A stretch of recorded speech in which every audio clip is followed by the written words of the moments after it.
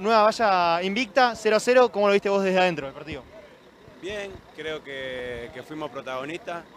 Eh, nos volvimos a encontrar con, con el juego y, la intensidad que, que, queremos, así que nada, este es el camino. Lamentablemente eh, no, no, no, nos pudimos llevar los tres puntos.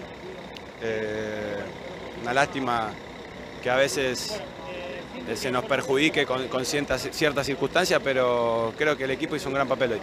¿Crees que el arbitraje de Chavarría en, un, en, algún punto los terminó inclinando la balanza para el equipo mendocino?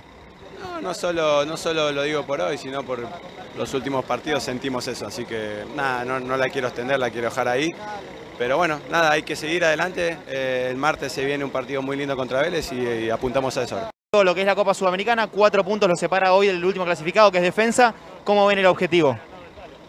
Estamos trabajando para eso. Eh, sea Vélez o el que venga, queremos ganar, así que nada. Eh, ahora descansar y vamos a preparar el partido a partir de mañana. Muchísimas gracias, Fe.